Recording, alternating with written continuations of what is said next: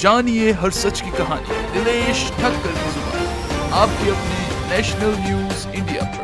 रहेगा कि गुरुकुल किस तरह से साइंस के क्षेत्र में पूरे गुजरात के अंदर किस तरह से नाम हासिल कर हमारे बच्चों ने ये सोचा कि क्यों ना हम ऐसा करें कि एनवायरमेंटली कोई ऐसा काम किया जाए कि लोगों को ठंडी हवा भी मिले और साथ में एसी का यूज़ भी ना करना पड़े। हम लोगों ने हीट एक्सचेंजर ट्यूब प्रोजेक्ट बनाया है। साइंस फेयर के अंदर सिलेक्ट हुआ है और साथ ही साथ में इंस्पायर्ड अवार्ड के अंदर भी नेशनल लेवल पे ये प्रोजेक्ट सिलेक्ट हुआ है जिसके कारण इन्हें दस हज़ार रुपये की राशि इनाम के रूप में प्राप्त हुई है। बच्चों ने इसके ऊपर दिमाग लगाया और एक अटैचमेंट तैयार की।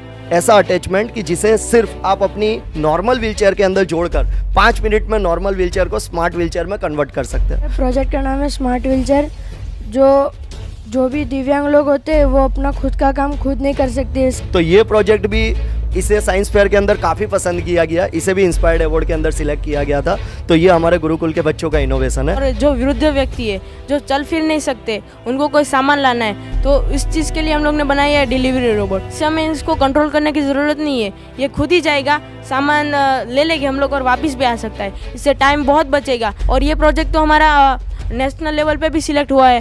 हम लोग को इसमें सरकार की तरफ़ से दस हज़ार राशि भी मिली है। मैं एक विज्ञान का शिक्षक हूँ। पिछले सात साल से गुरुकुल में तो मैं यहाँ पर आपको पूरी ईमानदारी के साथ बता सकता हूँ कि भौतिक शिक्षा में भी गुरुकुल सभी जगहों पर नंबर वन है।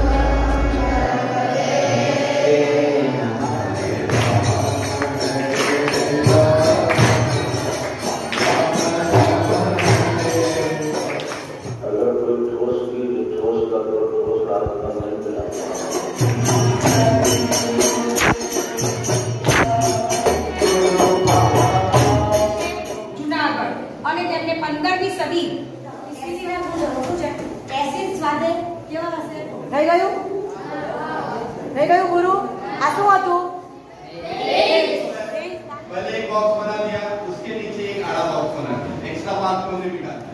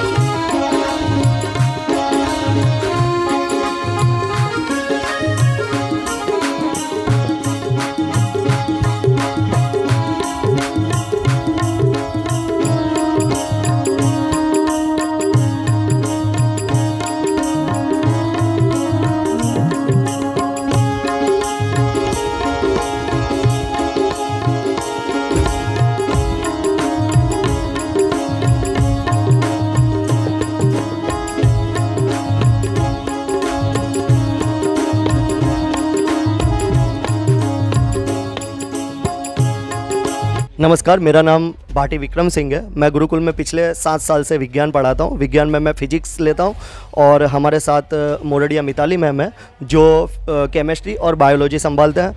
गुरुकुल के अंदर, साइंस के अंदर किस तरह से पढ़ाई करवाई जाती है, वो जब आप मैम से बात करोगे, मुझसे बात करोगे, तब आपको अच्छे से पता चलेगा कि गुरुकुल के अंदर विज्ञान को किस तरह से महत्व दिया जाता है। तो आप मैम से बात कर सकते हैं। मैं साइंस में केमिस्ट्री और बायोलॉजी पढ़ाती हूँ। केमिस्ट्री और बायोलॉजी में जो हार्ड शब्द आते हैं हार्ड शब्द बच्चे के माइंड में कैसे फिट होते हैं, इसीलिए हमको प्रैक्टिकल करवाते हैं। प्रैक्टिकल से बच्चों को ज्ञान मिलता है कि कैसे करते हैं। और हम बच्चों को प्रैक्टिकल कराते हैं और दिखाते भी हैं और बच्चे के पास करवाते भी है कि कैसे प्रैक्टिकल करना होता है। हम, जैसे आपको मैम ने बताया कि कोई भी जो साइंस के सब्जेक्ट के जो भी टॉपिक है या जो भी क्योंकि आपको पता है कि साइंस के अंदर कंसेप्ट आते हैं और वो सिद्धांत के आधार पर होते हैं। तो यदि आप हम उसको डायरेक्ट बता देंगे तो बच्चों को समझ में नहीं आता। वो मैथ्स तो है नहीं कि बोर्ड के ऊपर हमने दो प्लस दो चार कर दिया और हो गया। तो साइंस के अंदर जितने भी अ, प्रैक्टिकल्स आते हैं, वो प्रैक्टिकल्स हमारे गुरुकुल में नियमित रूप से होते हैं। दूसरी स्कूलों में क्या होता है कि वो बोर्ड पर सिर्फ़ बता दिया जाता है, उन्हें प्रैक्टिकल रूप में नहीं किया जाता, जबकि गुरुकुल के अंदर जितने भी बच्चों के मैनुअल्स में प्रैक्टिकल्स रहते हैं, वो सभी प्रैक्टिकल्स गुरुकुल में करवाए जाते हैं, जिसके कारण कि बच्चों की जो शब्दों के प्रति और जो उनके अर्थ है, उनको वास्तविक रूप में प्रैक्टिकल रूप में समझते हैं। और बाद में वो विद्यार्थी भी वो करते हैं, जिसके कारण उनका ज्ञान वर्धन होता है और विज्ञान में उनको इंटरेस्ट आता है। विज्ञान के अंदर यदि देखा जाए तो हमारे विद्यार्थी काफ़ी पहले से बहुत ही अच्छा प्रदर्शन करते हैं। जैसे आप साइंस फेयर की बात कीजिए तो साइंस फेयर के अंदर कंटिन्यूसली पिछले सात, आठ, दस सालों से हमारे विद्यार्थी बहुत ही अच्छा प्रदर्शन करते हैं। वो नेशनल लेवल तक सिलेक्ट हुए और उसके साथ ही साथ इंस्पायर्ड अवार्ड के अंदर भी हमारे बच्चों ने काफ़ी अच्छा प्रदर्शन किया है, जिसके कारण उन्हें वहाँ पर दस हज़ार, बीस हज़ार, तीस हज़ार रुपये तक राशि प्राप्त हुई है। तो इस तरह से आप यदि हमारे गुरुकुल के बच्चों से प्राप्त बात करेंगे तो आप समझ सकते हैं कि गुरुकुल के अंदर साइंस को कितना महत्व दिया जाता है। आज के समय में क्या है भौतिक शिक्षा और आध्यात्मिक शिक्षा। दोनों की एक समान ज़रूरी है। यदि हम भौतिक शिक्षा के ऊपर फोकस नहीं करेंगे तो दुनिया के जो विकसित देश हैं, हम उनकी कंपैरिजन में उनके समांतर नहीं हो सकते। तो गुरुकुल के अंदर आपको ये देखने को मिलेगा, दूसरे कहीं पर नहीं देखने को मिलेगा, कि आध्यात्मिक शिक्षा का तो पूर्णतः लाभ यहाँ पर प्राप्त होता है बच्चों को। उसके अंदर तो कोई कमी नहीं है। बच्चे सुबह छः बजे उठते हैं, सुबह छः बज के छः बजे उठ के बच्चे संध्या करते हैं, प्राणायाम करते हैं, आसन करते हैं, माला करते हैं। ऐसा आपको कहाँ देखने को मिलेगा कि बच्चा सुबह उठ के ये सब कर रहा है? आज के समय में बाहर के दुनिया में आप देखोगे तो बच्चा मोबाइल यूज़ करता है। यहाँ पर तो बच्चे को मोबाइल यूज़ नहीं करने दिया जाता है। तो और ऐसा भी नहीं है कि बच्चा उसके कारण किसी प्रकार का तनाव महसूस करता है कि मुझे मोबाइल यूज़ करना है। यहाँ पर आकर स्वतः बच्चे के सभी आ, गलत आदतें छूट जाती है और अच्छी आदतें उसके अंदर स्वतः आती है क्योंकि यहाँ का एटमोसफियर ऐसा है। यहाँ पर चारों तरफ़ विद्यार्थी एक दूसरे से बात करते हैं एक दूसरे से आत्मीय संबंध रखते हैं और गुरुदेव का ज्ञान ब्रह्मज्ञानी गुरुदेव का ज्ञान उन्हें मिलता है, इसलिए उनकी बुद्धि के अंदर निखार आता है। उनके अंदर विवेक जागृत होता है। तो विद्यार्थी सुबह से लेकर शाम तक अपनी दिनचर्या का पालन करते हैं, बहुत ही अच्छे ढंग से। तो आध्यात्मिक ज्ञान तो उन्हें मिल रहा है, परंतु साथ साथ में मैं एक विज्ञान का शिक्षक हूँ, पिछले सात साल से गुरुकुल में। तो मैं यहाँ पर आपको पूरी ईमानदारी के साथ बता सकता हूँ कि भौतिक शिक्षा में भी गुरुकुल सभी जगहों पर नंबर वन है। तो आप यदि हमारे बच्चों से प्रत्यक्षम किम प्रमाणम? यदि आपको प्रत्यक्ष में देखने को मिलेगा तो प्रमाण की ज़रूरत नहीं। आप हमारे बच्चों से बात करेंगे तो आपको पता चलेगा कि गुरुकुल किस तरह से साइंस के क्षेत्र में पूरे गुजरात के अंदर किस तरह से नाम हासिल कर रहा है। आप हमारे बच्चों से बात करके जान सकते हैं। मेरा नाम आजगिया सौर्य है। मैं छठी कक्षा में पढ़ता हूँ। सर, हम लोगों ने ईट एक्सचेंजर ट्यूब प्रोजेक्ट बनाया है। सर, मैं जहाँ जहाँ मॉल होटल, वैसी सब जगह पर जाता हूँ तो उधर मैं देखता हूँ कि ऐसी का उपयोग ज़्यादा हो रहा है। उस प्रमाण पे अपना वातावरण ज़्यादा प्रदूषित हो रहा है। तो मेरे को ऐसा लगा कि मैं कोई ऐसा प्रोजेक्ट बनाऊँ जैसे ऐसी का उपयोग कम हो जाए और वातावरण प्रदूषित भी ना हो। तो सर, सर्वप्रथम हमने उसमें एक बाल्टी ली, उसके अंदर हम लोगों ने एक कॉपर की पाइप डाली, उसके ऊपर हम लोगों ने मिट्टी रख दी, क्योंकि ज़मीन के ऊपर का तापमान और ज़मीन के नीचे के तापमान में आप लोग तफावत तो देख ही रहे हैं। और ज़मीन के ऊपर का तो ज़्यादा होता है, ज़मीन के नीचे का कम होता है। उसी प्रमाण पे हम लोगों ने उसमें मिट्टी रखी, फिर उसके वो एक, वो पाइप के दो छेड़े लगाए। एक छेड़े पर हम लोगों ने ब्रोवर रखा और एक छेड़े छेड़े पर हम लोगों ने टेम्परेचर का मशीन रखा। वैसे ही ब्लोअर बाहर की गर्म हवा को खींचता है और जब ज़मीन के अंदर दाखिल करता है, तब ज़मीन का टेम्परेचर कम होने से वह गर्मी का शोषण कर लेता है।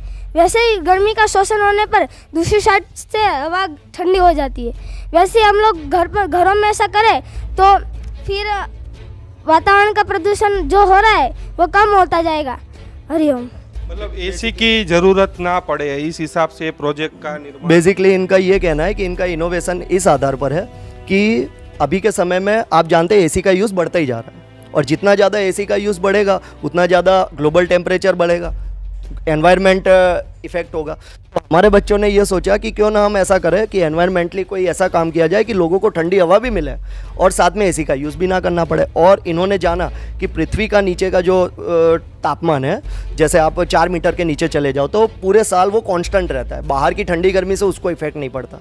तो बच्चों ने क्या किया कि उसी सिद्धांत पर, विज्ञान के सिद्धांत पर ये उन्होंने आविष्कार किया है इस प्रोजेक्ट का, जिसके कारण वो इस तरह से हाँ सरकार भी चाहे तो इसको अप्लाई कर सकती है। इसके अंदर कुछ सुधारे वधारे करके कि किस तरह से हम बाहर की गर्म हवा को भी ठंडी करके ज़मीन के द्वारा ज़मीन के नीचे ठंडी कर कर लोगों के घर में ठंडी हवा पहुँचा सकते हैं बिना किसी अतिरिक्त खर्च के। तो ये बहुत बड़ा इनोवेशन किया। ये इनोवेशन इनका अ, क्या बोलते हैं साइंस फेयर के अंदर सिलेक्ट हुआ है और साथ ही साथ में इंस्पायर्ड अवार्ड के अंदर भी नेशनल लेवल पर ये प्रोजेक्ट सिलेक्ट हुआ है जिसके कारण इन्हें दस हज़ार की राशि इनाम के रूप में प्राप्त हुई है इसके अंदर इनोवेशन के लिए। इसके साथ ही हमारे दूसरे विद्यार्थी इन्होंने आप इनसे बात करेंगे तो इन्होंने स्मार्ट व्हील बनाई है। स्मार्ट व्हील के बारे में ये आप इनसे जानेंगे तो ये आपको बताएँगे कि किस तरह से वर्क करता है? हरिओम, मेरा नाम बलगामड़िया देवांश है, मैं भरूच का रहने वाला हूँ। मैं कक्षा नौवीं में पढ़ता हूँ। मेरे प्रोजेक्ट का नाम है स्मार्ट व्हीलचेयर जो जो भी दिव्यांग लोग होते हैं, वो अपना खुद का काम खुद नहीं कर सकते। और दूसरे के व्यक्ति, दूसरे व्यक्ति के ऊपर निर्भर होते। तो वो अपना काम खुद कर सके और स्वतंत्रता से स्वतंत्र रीत से हर, घूम फिर सके। इसके लिए प्रोजेक्ट बनाया गया, बनाया। और अब स्मार्ट व्हीलचेयर तो मिलती भी है लेकिन बहुत महंग- महँगी मिलती है। तो गरीब लोग उसको खरीद खरीद नहीं सकते। इसके लिए कम कम से कम बजट में बन पाए और कम से कम कम से कम और ज़्यादा से ज़्यादा गरीब लोग खरीद लेंगे। खरीद ले। इसके लिए ये स्मार्ट व्हील बना स्मार्ट व्हीलचेयर बनाया और स, हमने सबसे पहले इसका साइकिल का हैंडल लिया और उसको थोड़ा छोटा पड़ रहा था हैंडल इसके लिए थोड़ा लंबा पाइप लिया और नीचे फ्रेम बनाया मोटर मोटर और एक्सलेटर और हब मोटर से पूरा अटैचमेंट तैयार करके सिर्फ़ फक्त से फक पाँच मिनट के अंदर पूरा स्मार्ट व्हीलचेयर तैयार हो जाता है। क्योंकि यहाँ आध्यात्मिक की बात की जाती है। गुरुकुल का नाम आता है तो बोले आध्यात्मिक।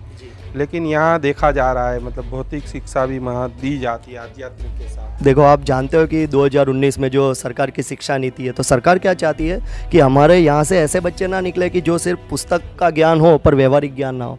तो हमारे यहाँ तो वर्कशॉप भी है, जिसके अंदर विद्यार्थी खुद जाकर सर को आइडिया बताते हैं, सर उसके ऊपर उनको गाइडेंस देते हैं कि आपको ये किस तरह से करना चाहिए। तो बच्चे अपने हिसाब से उसे करते हैं, सीखते हैं, गलती भी करते हैं और उसके बाद सीखते हैं। तो ये इन बच्चों ने जो बेसिकली बनाया है, वो क्या है कि हम व्हील चेयर तो देखते हैं। और अभी मार्केट में व्हील चेयर भी है स्मार्ट व्हील चेयर मतलब जो इलेक्ट्रिक व्हील चेयर वो है, उपलब्ध। पर बच्चों ने इस तरह से सोचा कि जो गरीब वर्ग है, भारत के अंदर गरीब वर्ग बहुत ही बड़ा है। साधारण वर्ग बोलो, गरीब वर्ग भी क्यों बोलो, वो बहुत बड़ा है।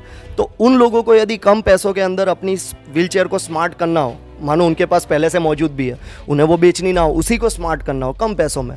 तो वो कहाँ जाएँगे? सभी को तो ये नहीं पोसा सकता है कि वो साठ हज़ार, सत्तर हज़ार, अस्सी हज़ार रुपये की इलेक्ट्रिक व्हील चेयर खरीदे। तो हमारे बच्चों ने इसके ऊपर दिमाग लगाया और एक अटैचमेंट तैयार किया ऐसा अटैचमेंट कि जिसे सिर्फ़ आप अपनी नॉर्मल व्हीलचेयर के अंदर जोड़कर पाँच मिनट में नॉर्मल व्हीलचेयर को स्मार्ट व्हीलचेयर में कन्वर्ट कर सकते हैं। और इसे ही बोलते हैं कि वेस्ट में से बेस्ट क्योंकि ये आज के समय में बहुत ज़रूरी है। हमारे पास संसाधन सीमित है। और सीमित संसाधनों का कैसे यूज़ करना है, ये हमारे गुरुकुल के बच्चों से आप सीख सकते हैं। तो ये प्रोजेक्ट भी इसे साइंस फेयर के अंदर काफ़ी पसंद किया गया, इसे भी इंस्पायर्ड अवार्ड के अंदर सिलेक्ट किया गया था। तो ये हमारे गुरुकुल के बच्चों का इनोवेशन है। हमारे एक तीसरे विद्यार्थी भी है, इन्होंने स्मार्ट डिलीवरी रोबोट बनाया। तो किस तरह से इन्होंने ये स्मार्ट डिलीवरी रोबोट बनाया और ये आज के समय में कितना बड़ा इनोवेशन है, वो आपको बताएँगे। आज के समय में हम लोग देख सकते हैं कि भाई, लोगों के पास टाइम नहीं है। टाइम का लोगों के पास अभाव है। तो ऐसे के लिए और जो विरुद्ध व्यक्ति है, जो चल फिर नहीं सकते, उनको कोई सामान लाना है तो इस चीज़ के लिए हम लोग ने बनाया है डिलीवरी रोबोट अभी के लिए तो हम इसे छोटे बेस पर यूज़ करें लेकिन अगर आगे जाके हम लोग इसमें और चीज़ ऐड कर सकते हैं जैसे कि जीपीएस सिस्टम जिससे हमें इसको कंट्रोल करने की ज़रूरत नहीं है। ये खुद ही जाएगा सामान ले लेगी हम लोग और वापस भी आ सकता है। इससे टाइम बहुत बचेगा जैसे कि लोगों को दूर तक जाना पड़ता है वो नहीं जाना पड़ेगा। लोगों का टाइम काफ़ी बचा सकता है। और ये प्रोजेक्ट को हमने अ, हमने सोचा नहीं था कि हम लोग ऐसा कुछ ज़्यादा करेंगे लेकिन धीरे धीरे हम लोग ने इसमें सीखा। हम लोग ने सोचा कि हम लोग कुछ रोबोट बनाए और हमारी जो वर्कशॉप है उसमें हम लोग ने बहुत सारा सामान देखा। तो सामान को देख देख के हमको आइडिया आया कि भाई एक फ्रेम बना देते इसमें टायर्स लगा देते तो नोट एम हमारे में था। तो नोट एम के बारे में सर ने सिखाया कि ये जो होता है, इसमें कोडिंग होता है, इससे हम लोग इसका कंट्रोलर बना सकते। तो इस सब चीज़ से हम लोग सीखा कि कैसे बनाते, उसमें क्या बेस होता है मैकेनिकल क्या होता है उसमें, वो सब हमने सीखा। आइडिया हमारा था, लेकिन सर ने हमें काफ़ी कुछ चीज़ सिखाई। और अभी हम लोग गुरुकुल में देखें तो हमारे गुरुकुल में हमें काफ़ी सारी चीज़ में साइंस फेयर में आगे ले जा सकता है। हम लोग को आगे भेजते। और ये प्रोजेक्ट तो हमारा नेशनल लेवल पे भी सिलेक्ट हुआ है। हम लोग को इसमें सरकार की तरफ़ से दस हज़ार राशि भी मिली है। और हमारे गुरुकुल में ऐसा नहीं है कि सिर्फ़ रट्टा मार के सब चीज़ सिखाई जाती है। उसको समझा के, उसमें क्या है, उसका सार क्या है, वो सब सिखा के हमको बताया जाता है। देखो, विज्ञान आज के समय का सबसे बड़ा हथियार है, और इसे कोई नकार नहीं सकता।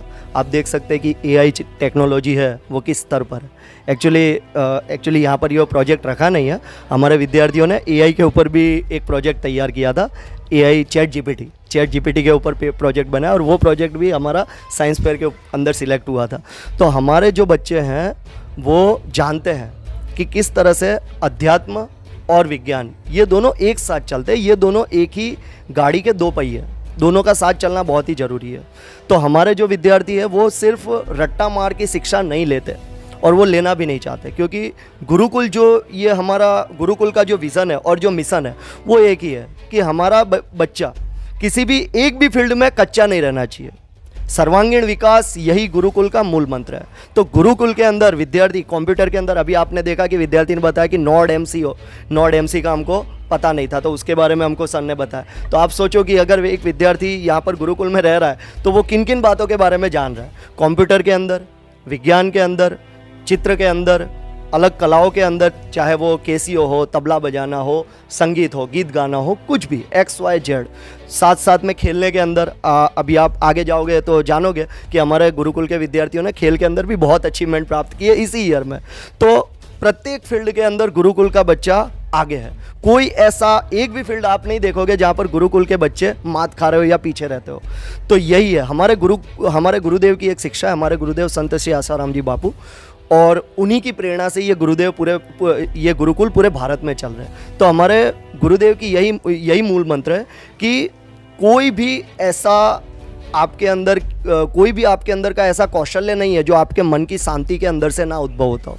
यदि आपका मन शांत है, यदि आपका मन एकाग्र है तो उसके अंदर से आप अच्छे से अच्छे, बड़े से बड़े कौशल्य को प्राप्त कर सकते हो। तो हमारे गुरुकुल के अंदर मैंने आपको बताया कि हमारी जड़ कहाँ है?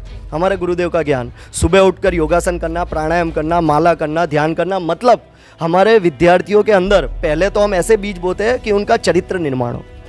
क्योंकि यदि चरित्र नहीं है तो कुछ भी नहीं है। तो हमारे विद्यार्थियों के अंदर धैर्य, क्षमा, प्रसन्नता, शांति, करुणा, ऐसे अच्छे गुणों का विकास पहले तो विद्यार्थियों के अंदर होता है। और उसके बाद हमारे गुरुकुल के विद्यार्थी पढ़ाई के अंदर भी अपने सभी फ़ील्ड के अंदर महारत हासिल करते हैं। तो इस प्रकार से ये गुरुकुल का स्ट्रक्चर वर्क करता है।